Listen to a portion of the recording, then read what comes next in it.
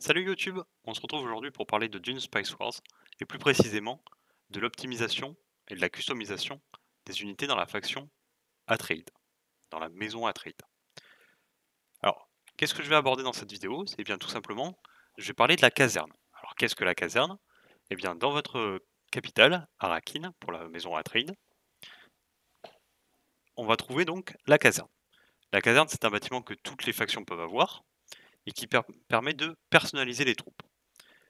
Et en fait, c'est un des pièges qu'on peut rencontrer quand on commence le jeu, c'est qu'on va pas savoir comment customiser nos troupes. Quelles améliorations sont bonnes, quelles améliorations peuvent être des pièges, et dans quel cas prendre certaines euh, améliorations. Ici, on va voir un espèce de build un peu générique pour la faction, sur comment la personnaliser au mieux. Évidemment, je vais préciser qu'il y a des cas un peu spécifiques, des moments où des améliorations sont plus fortes que d'autres, selon le cas qui va vous arriver.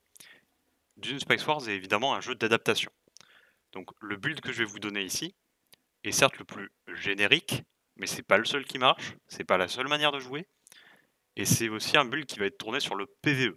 C'est-à-dire qu'il y a des problématiques qu'on pourrait voir en PVP, notamment par exemple le focus des unités à distance, qu'on va pas voir ici. On va considérer qu'on joue tout le temps en PVE, donc contre de l'ordinateur. Donc on va pas faire patienter plus que ça, et on va aller directement sur la caserne. Donc là je vais vous présenter le build que j'utilise de manière un peu générique, comme je vous l'ai dit, mais que je peux toujours adapter selon la situation.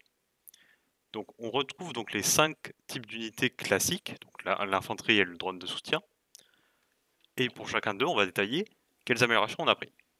Donc votre soldat est votre unité de corps à corps basique. C'est-à-dire que c'est lui qui va en début de partie prendre les affrontements en corps à corps essayer d'aller chercher les unités à distance adverse justement pour les empêcher de tirer. Et donc c'est pour cela que euh, j'ai décidé de lui placer euh, l'armure lourde, qui donc, va donc augmenter son armure, ce qui va faire qu'il va tanker plus facilement les coups qu'il va prendre. Et il va en prendre puisqu'il va subir les attaques à mêlée, en mêlée et les attaques à distance, le temps qu'il arrive sur l'unité. Et on va réduire un peu sa puissance, puisqu'en fait son but principal c'est d'aller désactiver des unités à distance, en les, en les mettant au corps à corps. Donc pour ça, on lui a mis les armures lourdes. Le désavantage des armures lourdes, c'est qu'elles réduisent votre puissance. Donc pour contrebalancer un petit peu ça, on va utiliser les mémoires de guerre. Mémoire de guerre, donc ça augmente votre puissance avec le rang, euh, avec le rang de l'unité. Cependant, ça vous coûte un peu plus cher. Il faut avoir toujours ça en tête. Euh, c'est-à-dire qu'il y a un certain coût sur certaines améliorations. Et il faut y penser euh, sur votre production de, de richesse. Parce que cela, avec le nombre d'unités que vous avez, peut peser dans la balance à un moment. Donc en fait, nous, on va partir sur un build où on va essayer un peu de compenser cette perte de puissance qu'on a avec l'armure lourde, pour taper un petit peu quand même, pour aller essayer d'aller tuer de l'unité, mais en même temps pas de perdre, enfin de pouvoir tanker euh, tous les dégâts qu'on va prendre. Je vais parler des autres améliorations qu'on n'a pas prises évidemment sur l'unité, pour que vous ayez tout en vue, et pas juste ce build là. Les armes de poing, servent en fait à attaquer les unités aériennes, telles que les vaisseaux et les vaisseaux lourds. Dans le cas évidemment où vous affrontez beaucoup de vaisseaux, une faction qui serait partie sur euh, beaucoup de vaisseaux, euh, notamment beaucoup de vaisseaux légers, eh bien cette, amélioration a évidemment du sens. C'est pas les meilleurs porteurs, c'est pas les meilleurs destructeurs de vaisseaux en général. On verra plutôt les rangers pour ce, ce travail. Mais ça peut toujours être un peu un DPS d'appoint pour essayer de tomber un vaisseau qui s'enfuirait avec un avec trop peu de PV à chaque fois. Donc c'est pas une mauvaise amélioration, c'est juste qu'elle coûte un peu cher et elle a vraiment un cas d'utilisation assez spécifique. À côté de ça, on a les sacs supplémentaires qui augmentent vos réserves mais réduisent votre armure. Nous évidemment, on va pas le prendre dans ce build puisque diminuer votre armure serait contre-productif avec l'objectif qu'on a en tête. Cependant, euh, dans certains cas, vous verrez que le, sac supplémentaire est présent sur plusieurs unités, notamment les rangers et les escouades d'armes lourdes, Dans certains cas où vous voulez par exemple contourner par un désert et donc vous allez piocher dans vos réserves, c'est pas forcément idiot de placer cette amélioration avant la traversée du désert et une fois sorti du désert de changer l'amélioration. Puisqu'en fait vous n'avez pas besoin de revenir à la base pour changer, les améliorations, vous pouvez le faire sur le terrain. Donc ça a du sens de la mettre avant, traverser le désert avec ses ressources, ses réserves supplémentaires, ou si vous voulez attaquer une base en, profondeur euh, dans, un empire ennemi, ça a du sens de l'équiper. puis de le déséquiper en dehors de, ces cas-là. Alors le kit de soins, c'est une amélioration qui est pas déconnante, notamment pour la faction Atreide, puisqu'en fait ça va augmenter votre soin en dehors des combats, mais ça va réduire votre puissance. Euh, on sacrifie déjà pas mal de puissance avec l'armure lourde.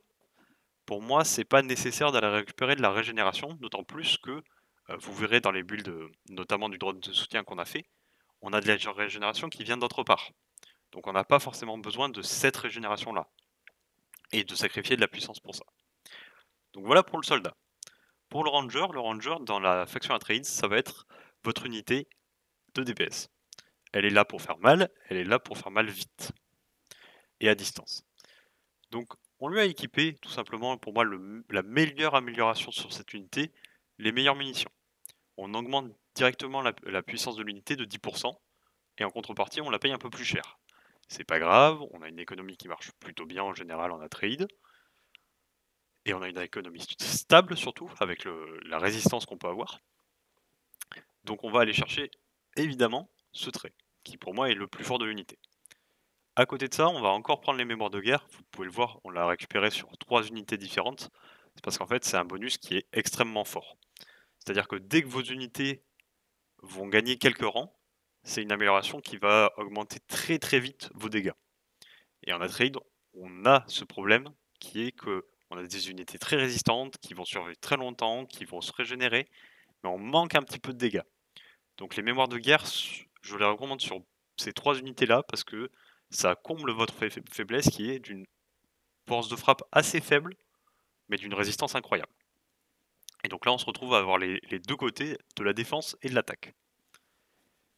Donc, euh, dans les autres améliorations, il y a le fusil de précision, qui est pas mal, je trouve, qui offre un gameplay un peu plus euh, safe, entre guillemets, pour le ranger. C'est-à-dire que vous augmentez énormément la portée d'attaque, mais vous sacrifiez un peu d'armure. C'est-à-dire que si une unité arrive à votre contact, votre unité va mourir relativement vite, relativement, étant donné qu'on est à trade et qu'on a d'autres bonus qui font qu'on va quand même un peu tanker, mais vous pourrez attaquer de très loin.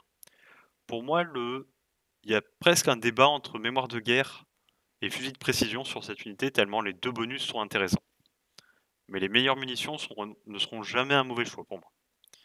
Encore une fois, on a les sexes supplémentaires, je vais avoir la même réflexion qu'avec le soldat. C'est bien équipé lors d'une traversée de désert ou d'une zone où vous ne pouvez pas régénérer, par exemple un territoire ennemi.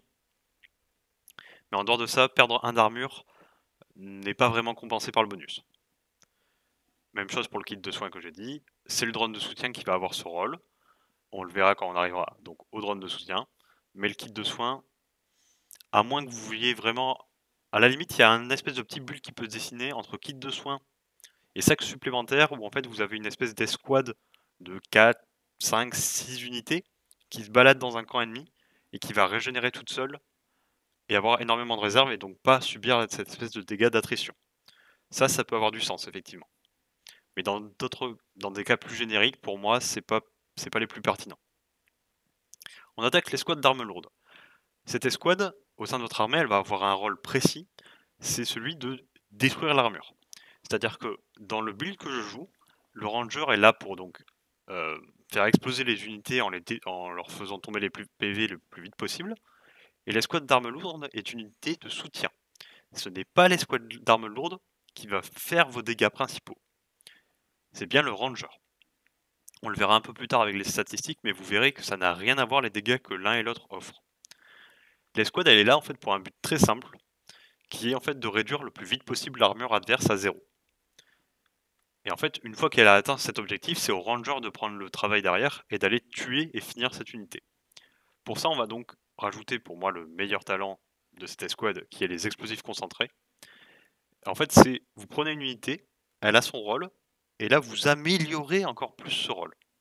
Parce qu'en fait, vous allez augmenter les chances de détruire l'armure, et surtout donc, par effet de bord, vous allez détruire l'armure plus vite.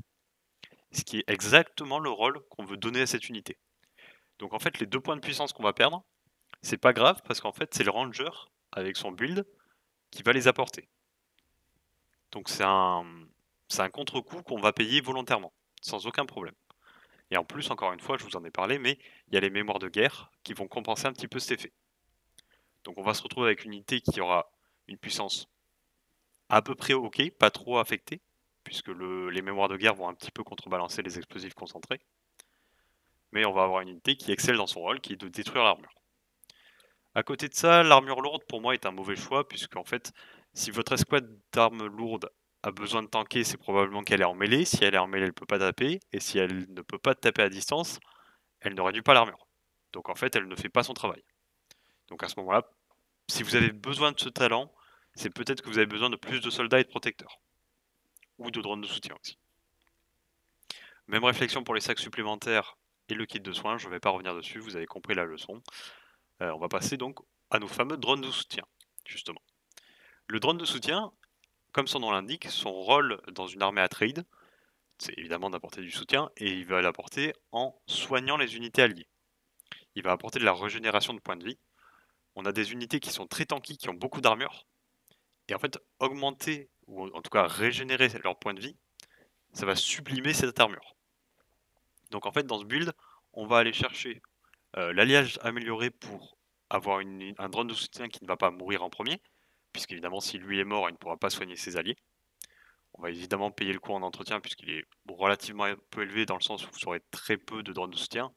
Vous aurez rarement 3 drones de soutien dans une armée. En tout cas, je déconseille d'en avoir autant. Ou alors vous avez une armée mais qui est splittée en plusieurs escouades. Là, ça peut avoir du sens, mais euh, cumuler les drones de soutien dans une armée n'est pas la bonne idée. Donc on va juste avoir des drones un peu plus tanky. Et à côté de ça, le point important, c'est la médecine améliorée. C'est-à-dire qu'on va améliorer leur effet de régénération sur les alliés. Et donc là, ça va vraiment le spécialiser dans son rôle. Euh, on peut voir avec les, autres améliorations disponibles qu'il y a une espèce de build un peu DPS, ou tout du moins euh, plus agressif. Mais c'est pas celui-là qu'on va aller chercher. Nous, on va vraiment se concentrer sur le fait de faire tenir nos unités. Et on aura l'escouade d'armes lourdes pour aller donc débuffer euh, l'armure adverse, et les rangers pour aller tuer. On arrive enfin au protecteur. Protecteur qui apporte en fait un petit peu le même rôle que le drone de soutien. C'est-à-dire que lui, il va non pas régénérer vos alliés, mais il va donner de l'armure à tout le monde. Le protecteur est aussi une unité qui d'elle-même va tanker énormément, elle a beaucoup d'armure. Donc nous, on va jouer sur ce point-là en augmentant encore plus l'armure. C'est pas grave si le protecteur ne fait pas de dégâts, ou peu de dégâts, puisque ce rôle sera assumé évidemment, vous l'avez compris, par le ranger. On va cependant contrebalancer l'effet euh, avec les épées trempées. Alors, il y a une petite subtilité, c'est-à-dire que vous avez les épées trempées qui peuvent augmenter votre puissance, mais vous avez aussi, pour moins cher, les mémoires de guerre. Je vous conseille, quand vous avez des protecteurs, les protecteurs c'est des unités qui peuvent arriver assez tard dans la partie, puisque c'est des unités qu'il faut rechercher, qui sont assez loin dans l'arbre. Si vous n'êtes pas concentré dessus, ça va prendre du temps. Et je vous conseille, euh, donc si elles arrivent, elles vont être rang 0 euh, ou 1, enfin voilà, euh, rang, nouveau rang. Elles vont pas avoir d'expérience. Et à ce moment-là, l'épée trempée est donc plus intéressante. Cependant, quand vos unités vont prendre en expérience, à ce moment-là, vous pouvez les passer sur une mémoire de guerre. Je ne le fais pas sur toutes les autres unités parce que il y en a très peu en fait qui ont des, voire même aucune, qui ont des bonus en puissance de base. Le protecteur est le seul à avoir ce bonus dès son arrivée. Alors que les autres sont obligés d'attendre d'avoir un peu plus d'expérience pour gagner le bonus des mémoires de guerre. Donc vous pouvez à un moment transférer euh, vos unités protecteurs vers les mémoires de guerre et armure lourde. C'est ce que je vous conseille. Euh, à côté de ça, donc les sacs supplémentaires, même chose qui a été dit sur les différentes unités, équipe de soins, même chose. Je vais vous montrer un petit, un petit quelque chose en plus, qui est en fait que, vous voyez mes escouades d'armes lourdes, donc là il y a évidemment, il n'y a pas que les buffs, que les améliorations euh, de la caserne qu'on voit ici, il y a plein plein de choses, puisque j'ai fait pas mal de recherches, je suis assez loin dans l'arbre militaire, donc c'est pas fidèle à ce que vous aurez peut-être à ce moment-là la partie, mais ça peut vous donner un aperçu de ce qu'il y a. C'est-à-dire que j'ai des euh, escouades d'armes lourdes qui ont que 8 de puissance, donc ce qui est assez faible à ce moment-là. Par contre, j'ai des rangers à 31. Alors, comme je vous l'ai dit, vous n'aurez peut-être pas les mêmes nombres, mais vous voyez bien qu'il y a un espèce d'énorme écart entre les deux, puisque les deux n'auront pas le même rôle. Votre escouade va enlever l'armure, et une fois que cette armure est enlevée, c'est vos 31 dégâts de ranger qui vont tuer. Donc à partir de là, moi je vous ai donné cette espèce de petit build. Ça va être à vous de voir euh, comment vous voulez équilibrer avec par exemple le nombre de protecteurs, le nombre de corps à corps par rapport au nombre de distances. vous allez voir au fil des affrontements, vous allez comprendre euh, s'il vous faut plus ou moins, par exemple, de DPS ou plus de tankiness. Donc ça, ça sera à vous de faire les adaptations qui vont rester là-dessus. Mais voilà, ça, je vous le remontre encore une fois. Ça, c'est le build un peu générique trade que je vous conseille. Donc évidemment, on se retrouve pour les prochaines vidéos qui vont concerner euh, pêle-mêle euh, donc les casernes pour les autres factions, donc notamment la maison Harkonnen qui va arriver. Euh, on va aussi voir les vaisseaux Harkonnen, puisque c'est la prochaine faction que je vais retraiter là-dessus. Évidemment, je serai sûrement en stream dimanche, peut-être dans l'après-midi, peut-être dans la soirée. Et donc je vous laisse là, en vous souhaitant une bonne journée. Salut